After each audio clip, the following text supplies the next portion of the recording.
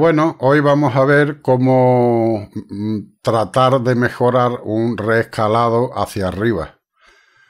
Digo tratar de mejorar porque casi siempre que queremos hacer un reescalado hacia arriba, eh, lo que recomendamos es dejar el original en su resolución tal cual, ¿no? Si es estándar, pues resolución estándar, si es HD, HD. Pero si te apetece hacerle algo, alguna mejoría, en el sentido de ampliarle un poco, eh, que se vea un poquito más, más, definido, ¿no? Pues vamos a ver eso, precisamente, si, si te apetece y quiere, pues vamos a ello. Aquí estamos viendo, para empezar, un, un vídeo donde el proyecto es de 4K, como puedes ver aquí, y tiene un vídeo de, de 1080, de HD. Entonces, eh, como el renderizado va a ser a 4K, pues nos apetece darle un poco más de, de, no sé, de nitidez, ¿no? Este vídeo. Aunque ya se va a ver bien de por sí. Pero si queremos darle un poco más de nitidez, tenemos algunas herramientas que vamos a ver ya. La primera, estamos haciéndolo, lo primero que ya verás que estamos haciéndolo con Vegas Pro 15. En el 19, por ejemplo, hay una herramienta que, igual que aquí en el Vegas 15, que en el caso del 19 no verás ni Vegas ni Smart, nada más que Upscale o escala hacia arriba. No sé cómo estará traducido en español. Vamos a ver qué es lo que hace. Que bajo mi punto de vista hace menos que Pepe le echa las cortes. O sea que eh, aquí se supone que tiene que haber un poquito más de mejoría, de un poquito más de nitidez, ¿no? Y entonces vamos a ponerle la escala a tope. Y esto es la sensibilidad, la sensibilidad al ruido pero este vídeo no tiene ruido, con lo cual lo vamos a dejar tal cual. Esto sí es bueno que lo dejemos habilitado, ¿no? Para que habilite las la mejoras. Pero aquí, por ejemplo, si fíjate bien, aquí donde mejor se nota, esta zona de aquí, ¿no? Eh, si quitamos el efecto, pues casi no, no vemos que haya hecho nada, ¿no? Un pelín, o sea, si te fijas muy bien, muy bien, muy bien, un pelín, pero que apenas, apenas hace que, que, haga algo, ¿no? Ya te digo, esto filtro hace menos que Pepe en la corte, o sea que yo prácticamente esto no lo uso. Tampoco es que use otras cosas porque siempre dejo el original tal cual. Si voy a hacer un 1080, la 4K, pues se va a quedar 1080 y Santas Pascuas, ¿no?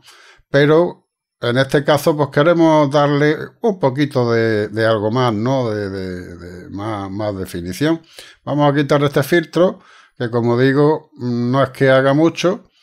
Y vamos a probar con eh, la máscara de enfoque. La máscara de enfoque, ahora fíjate bien por esta zona, ¿no? Que vamos a ponerle la cantidad y el radio. ¿Veis? Ya ha cambiado todo. Vemos que, el vídeo además ha tomado como un poco más de contraste, que es un efecto de la máscara de enfoque, ¿no? En el, en el nivel, en el umbral, no lo toques porque te va a cambiar los píxeles y eso no lo queremos. Si lo quitamos, este es el original, y este ya sería con el con la máscara de enfoque. Aquí sí vemos ya que está haciendo algo. Si además nos gustaría darle un pelín más, pues vamos a utilizar el Sharpen, que lo tenemos por aquí. Añadimos, le damos caña. ¿eh? Y aquí tenemos todavía, fijaros por aquí en estas granulaciones, eh, una fuente, eh, cómo ha aumentado un poco el, detalle, ¿no? Todavía más.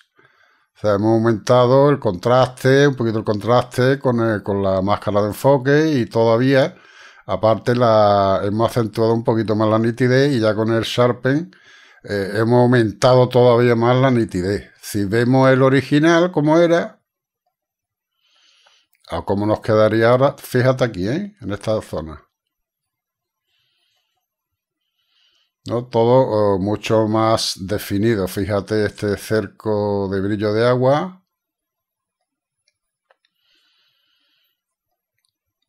Como queda más definido todo, ¿no?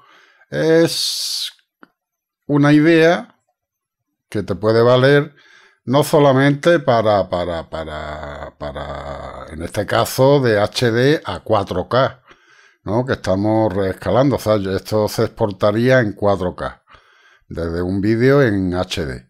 Pero un vídeo estándar a HD, pues vamos a verlo también, ya que estamos, ¿no? No tenemos mucho nada que hacer, pues, pues venga. Vamos a quitar el proyecto. Eh, esto ya es de V, o sea, está a, un formato PAL de 720-576 y voy a poner el proyecto a, a Full HD, 1080 Insisto en que yo esto lo dejaría así, yo normalmente esto no lo toco, pero lo mismo, nos apetece darle un poquito de aire, ¿no? Otra cosita, otra, otra, otra historia.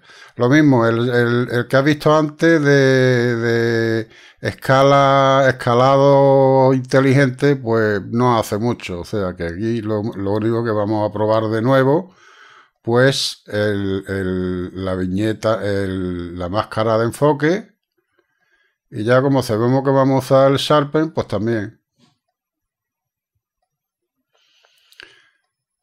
Entonces en la máscara de enfoque lo mismo, vamos a ponerle esta a la mitad más o menos y con el radio vamos a graduar. Ya está, ¿ves?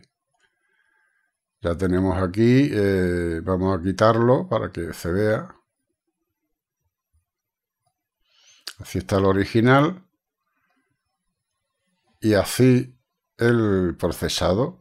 Si queremos darle un poquito de más eh, definición,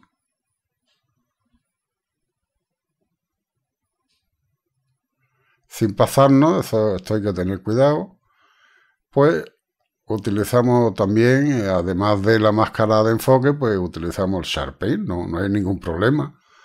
Si aquí cuando le damos aquí, yo lo tengo puesto de manera que se vea toda la pantalla como es original. Fíjate, esto era así. Ya procesado, esto va a salir así. O sea, esto es un vídeo en definición estándar que lo vamos a renderizar a Full HD, ¿no? A 1920 por 1080.